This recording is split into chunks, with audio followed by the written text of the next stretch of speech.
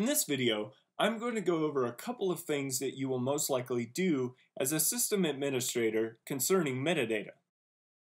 The first thing I'm going to cover is uploading an RPD file using the command line. The second thing is uploading the sample app lite bar file that comes by default with every install of 12c. Let's get started. First, I'm going to open the administration tool in online mode to show you the current RPD that I have deployed.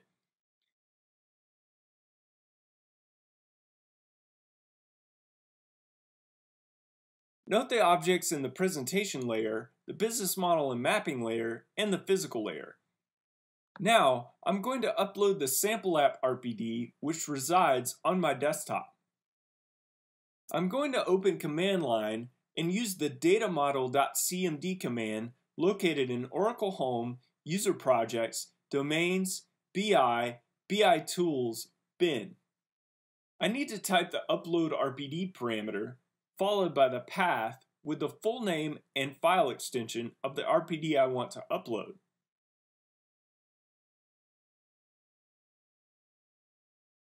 Also, I have to specify the service instance and the WebLogic username and the password.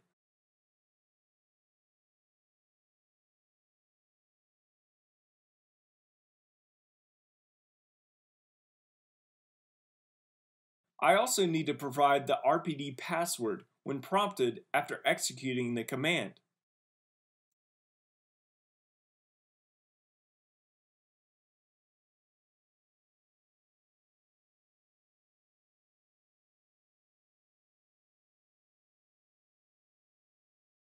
Now, I'll open up the administration tool again in online mode and see that the sample app lite RPD has been uploaded.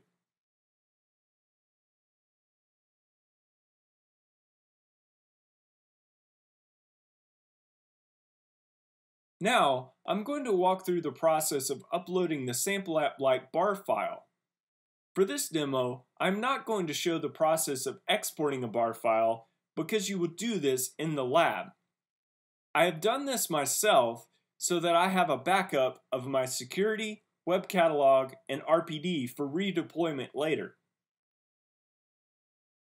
Before I do the import, I'm going to navigate to Analytics to view the current state of my web catalog.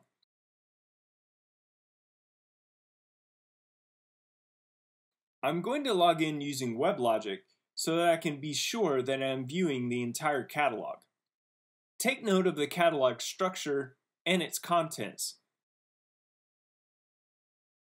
I'm also going to check the list of subject areas I have available for reporting. Note that I have my own development RPD deployed. After I have successfully uploaded the sample app lite bar file, I will return to the web catalog and the subject area list to see the differences. First, I need to open WebLogic scripting tool in interactive mode. I can launch it by using the wlst.cmd command under the Oracle Home, Oracle Common, Common, bin directory.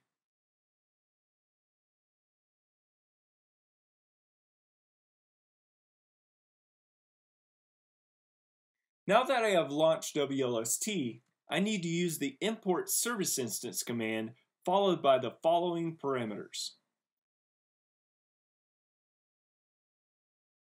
The first parameter is going to be the service instance directory.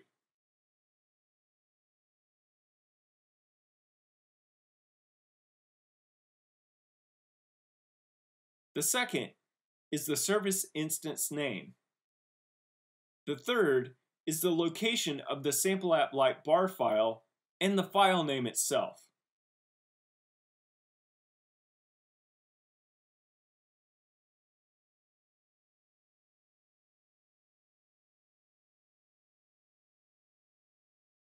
The import process will take a few moments.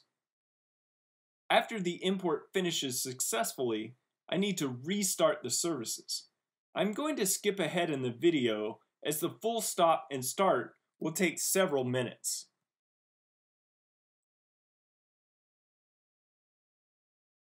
After all the services have been restarted, it's time to launch analytics and see what was changed.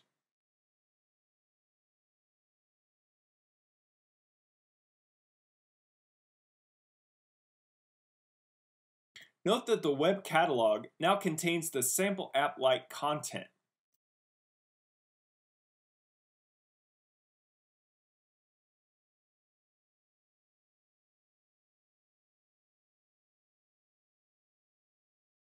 Also, the list of available subject areas has been changed due to the sample app lite RPD being deployed.